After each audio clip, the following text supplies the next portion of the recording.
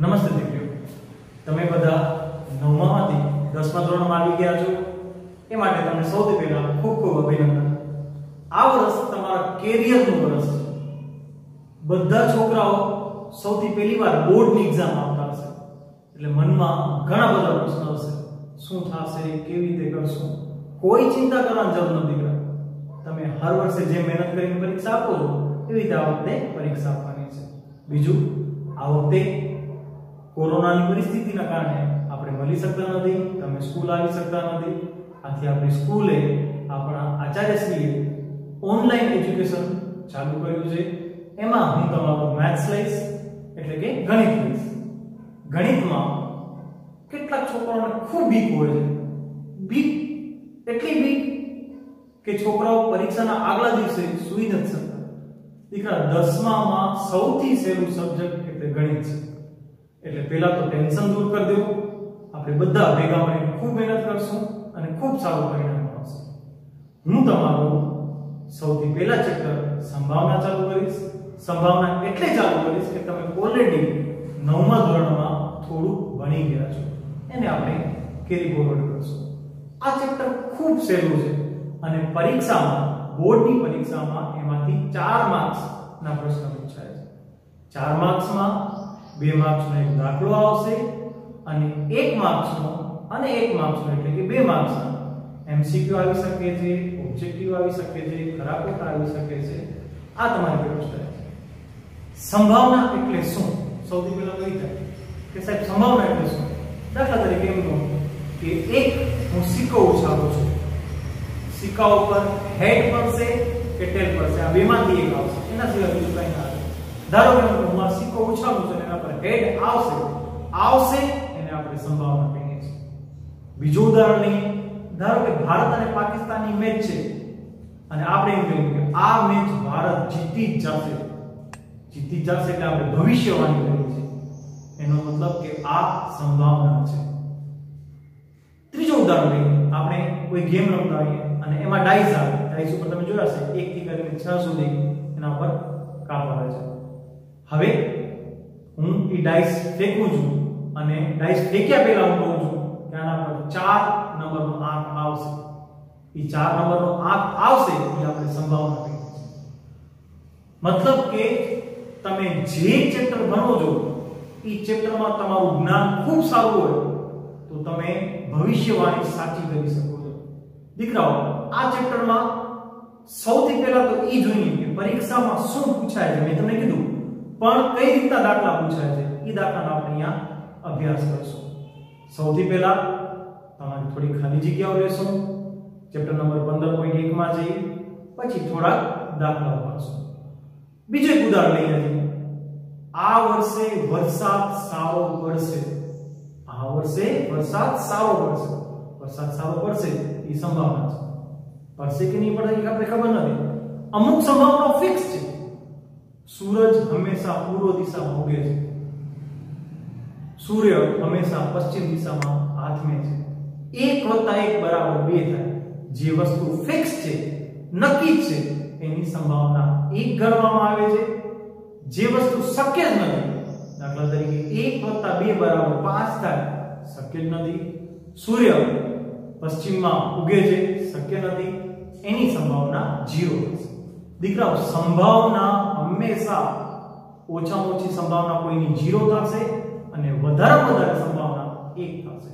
ચલો દીકરાઓ થોડાક આપણે દાખલાઓની પ્રેક્ટિસ કરીએ. નમસ્તે દીકરાઓ આપણે ચેપ્ટર નંબર 15 સંભાવના શરૂ કરીએ છીએ. આપણે સૌથી પહેલો દાખલો જોઈએ. પહેલા નીચેના વિધાન પૂર્ણ કરો. પરીક્ષામાં એક માર્ક્સમાં આ પણ પૂછાય છે. વિધાન પૂર્ણ કરો. ખરા ખોટા ફિલિંગ ધ બ્લેન્ક્સ એટલે કે ખાલી જગ્યા પૂરો. દાખલા તરીકે આપણે પાઠ્યપુસ્તકનો પહેલો દાખલો જોઈએ છીએ. ઘટના ઈ ની સંભાવના અને ઘટના ઈ ડેશની સંભાવના.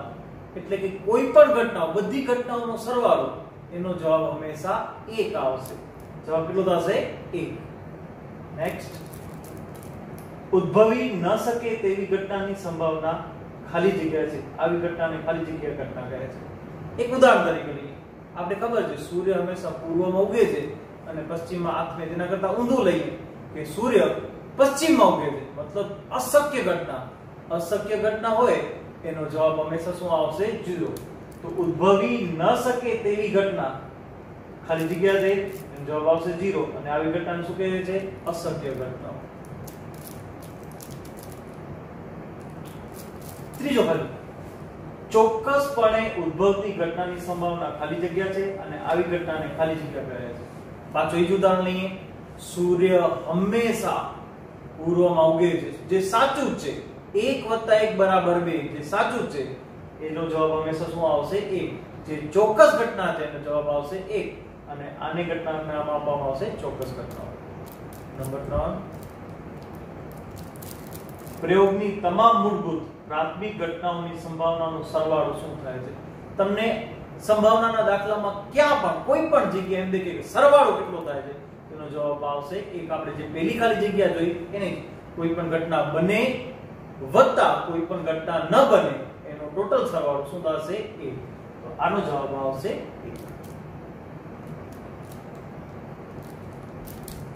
એના પછીની ઘટનાઓની સંભાવના ખાલી જગ્યાથી મોટી તેના જેટલી અને ખાલી જગ્યાથી નાની અથવા તેના જેટલી જ હોય છે. કોઈ પણ ઘટના નાની ઘટ- મતલબ અશક્ય ઘટના છે, એના માટે 0 આવશે અને શક્ય ઘટના છે, એના માટે 1 આવશે.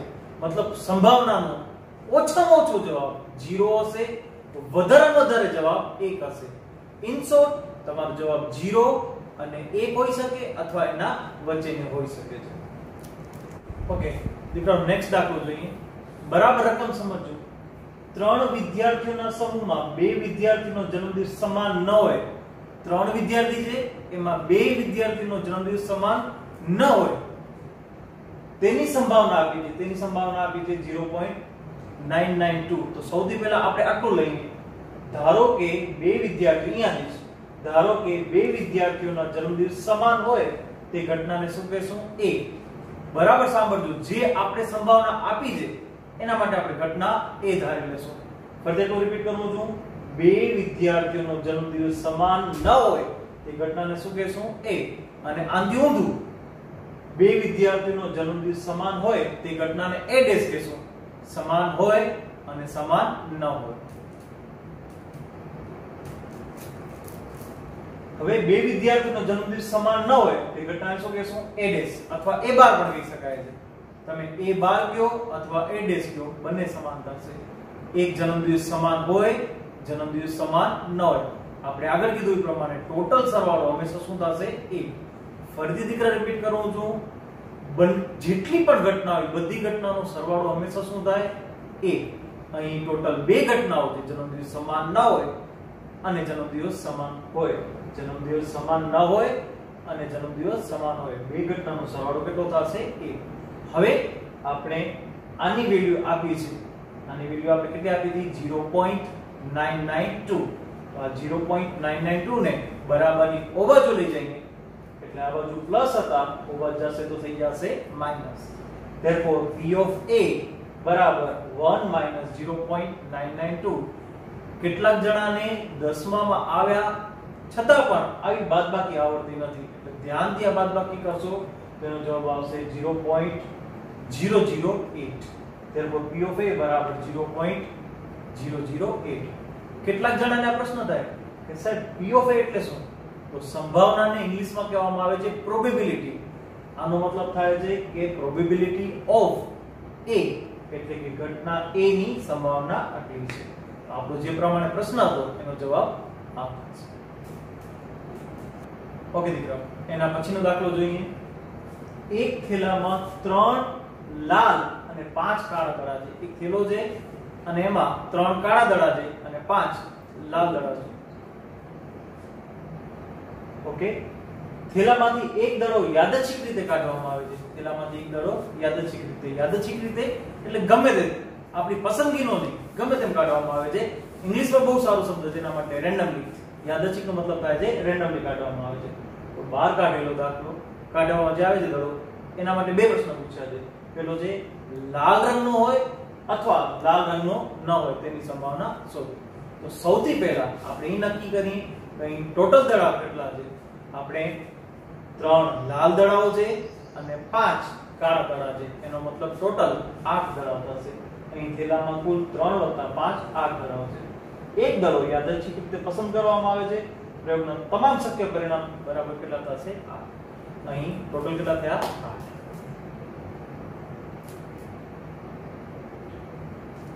ઓકે હવે પહેલો જે પ્રશ્ન છે, એના માટે આપણે જોઈએ, ધારો કે ઘટના એ, આપણે કયો દડો જોવાનો તો લાલ. ધારો કે દડો પસંદ કરવામાં આવે છે અને તે લાલ રંગનો હોય, તેની ઘટનાને કહેશું આપણે એ. લાલ દડો પસંદ કરવામાં આવે, એ ઘટનાને કહેશું એ. થેલામાં ત્રણ લાલ દડા હોવાથી કુલ પરિણામ કેટલા થશે? કુલ પરિણામ થશે 3 ત્રણ. ઘટના એ માટેના પરિણામ કેટલા થશે? 3 ધેરફોર p ઓફ a એટલે કે ઘટના એ બને તેની સંભાવના બરાબર બરાબર સૂત્ર કેવી રીતે યાદ રાખવાનું? ઈ ઘટના છેદમાં કુલ શક્ય પરિણામ. ઈ ઘટના કેટલી હતી? એના પરિણામ થયા હતા 3 આથી 3 છેદમાં 8 એટલે કે p ઓફ a બરાબર ઘટના ઉદ્ભવે તેના માટેના સાનુકૂળ પરિણામ છેદમાં તમામ પરિણામ. દીકરાઓ, આ સૂત્ર હવે આપણે વારંવાર રિપીટ નહીં કરી એટલું યાદ રાખવાનું, એ ઘટના જે બને છે તે છેદમાં કુલ ઘટનાઓ. અહીં તમને લાલ દડા કેટલા હતા? ત્રણ. Therefore, અંશમાં આવશે ત્રણ. છેદમાં કુલ કેટલા દડાઓ હતા? આઠ. છેદમાં આવશે આઠ. Therefore, p of a બરાબર 3/8 એના પછીનો, બરાબર સમજો શું કીધું હતું તમને? પસંદ કરેલો દડો લાલ રંગનો ન હોય. લાલ રંગનો ન હોય. મગજમાં યાદ આવવું જોઈએ. લાલ રંગના કેટલા દડા હતા? ત્રણ. લાલ રંગનો હોય મતલબ કયા રંગનો થઈ જશે કાળા રંગનો. કાળા રંગના કેટલા દડા હતા? 5 therefore થેલામાં પાંચ કાળા દડા હોવાથી ઘટના બી માટે ટોટલ સંભાવના કેટલી થશે? 5 therefore પી ઓફ બી બરાબર જે ઘટના છે, આપણા કાળા દડા. કાળા દડા કેટલા છે? પાંચ. અને કુલ દડા કેટલા હતા? આઠ. ત્યારપોર જવાબ આવશે પી ઓફ બી બરાબર પાંચ છેદમાં 8 ઓકે મેં એના પછી નેક્સ્ટ દાખલો જોઈએ. એક પેટીમાં પાંચ લાલ રંગની લખોટી છે, આઠ સફેદ રંગની લખોટી છે અને ચાર લીલી લખોટી છે. ટોટલ ત્રણ રંગની લખોટી આપી છે, લાલ, સફેદ અને લીલી. પાંચ લાલ છે, આઠ સફેદ છે અને ચાર લીલી. પેટીમાંથી લખોટી યાદચ્છિક રીતે બહાર કાઢવામાં આવે છે, તો બહાર કાઢેલી લખોટી આમાં ત્રણ પ્રશ્ન પૂછ્યા છે. પેલું પૂછ્યું છે, લાલ રંગની હોય બીજું પૂછ્યું છે, સફેદ રંગની હોય અને ત્રીજું બરાબર સમજજો, લીલી ન હોય. આપણે અહીંયા પૂછ્યું લાલ હોય, સફેદ હોય લીલી ન હોય. આ ત્રણેય માટેની સંભાવના શોધવાની છે. હવે, પેટીમાં કુલ કેટલી લખોટી થશે તો 5 8 4 બરાબર 17 મતલબ કુલ શક્ય પરિણામ આપણે કેટલા થશે? 17 એક લખોટી યાદચ્છિક રીતે પસંદ કરવામાં આવે, તો કુલ શક્ય પરિણામ કેટલા થઈ જશે? 17 દરેક દાખલામાં જોવાનું ટોટલ કેટલા થાય છે? ટોટલ થશે એ હંમેશા છેદમાં આવશે. હવે આપણે પહેલી ઘટના શોધીએ. પહેલી ઘટનાને એ કહેશું. ધારો ઘટના એ બરાબર પસંદ કરેલી લખોટી લાલ રંગની હોય. યાદ કરો, લાલ રંગની લખોટી કેટલી હતી? 5 ધેરફોર ઘટના એ માટે ટોટલ સાનુકૂળ પરિણામ કેટલા થશે? 5 આપણું સૂત્ર p ઓફ એ કીધું છે કે p ઓફ a બરાબર જે ઘટના બને છે, એના પરિણામ છેદમાં કુલ શક્ય પરિણામ. કેટલા હતા કુલ શક્ય પરિણામ આના કુલ શક્ય પરિણામ હતા 17 અને ઘટના a બને છે, એના માટે પરિણામ કેટલા હતા 5 therefore, p of a બરાબર થશે 5 છેદમાં 17 એટલે કે આ ઘટના બને છે, એનો જવાબ આવશે 5 છેદમાં 17 ધારો કે ઘટના b. ઘટના b શું હતી? યાદ કરો. પસંદ કરેલી લખોટી સફેદ રંગની હોય. સફેદ રંગની લખોટી કેટલી હતી? 8 ધેરફોર ઘટના b બને. એવી કેટલી સંભાવના થશે? એની થશે આપણે ટોટલ પરિણામ કેટલા છે? 8 ધેરફોર p ઓફ b બરાબર, એટલે કે probability of b event is equal to જે b ઘટના બને છે, એના પરિણામ છેદમાં કુલ શક્ય પરિણામ. B બને છે એના કેટલા છે? 8 ધેરફોર 8 છેદમાં કુલ કેટલા હતા 17 ધેરફોર આનો જવાબ થશે 8 છેદમાં 17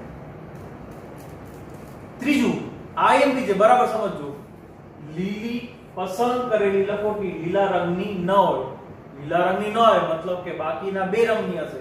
કયા બે રંગની હશે? પેટીમાં લાલ રંગની લખોટી 5 અને સફેદ રંગની લખોટી 8 હતી. એટલે ટોટલ થશે 13 બરાબર સાંભળજો, ત્રણ રંગની લખોટી હતી.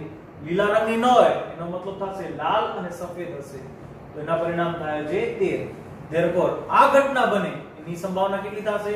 તો એના પરિણામ થયા 13 અને કુલ શક્ય પરિણામ આપણા હતા 17 ધેરફોર p of c બરાબર 13 by 17 એટલે કે 13 છેદમાં 17